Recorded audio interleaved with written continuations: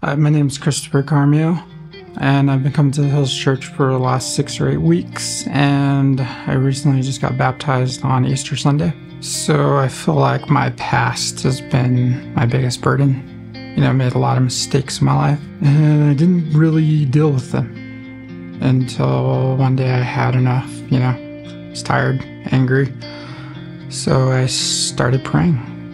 And it seems like the closer I got to God, the more peace I found within myself. I guess you could say, you know, I was finally breaking those chains from the past and I was able to finally be at peace. And that's been a lifelong goal for me. You know, since I've been baptized with my friend Colin on that Easter Sunday, uh, his sister got baptized after that. Uh, my cousin is actually looking to get baptized on the 5th, and my dad as well.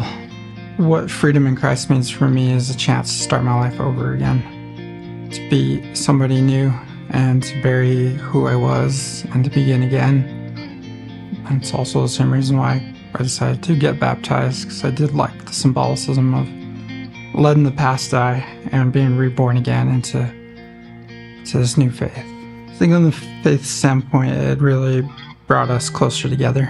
Um, we were broken for quite a long time, and Josh tried forever to get me to come to church, and I finally tried it one day. And, you know, if anything, I think it brought me and my brother closer together and starting to bring our family closer together.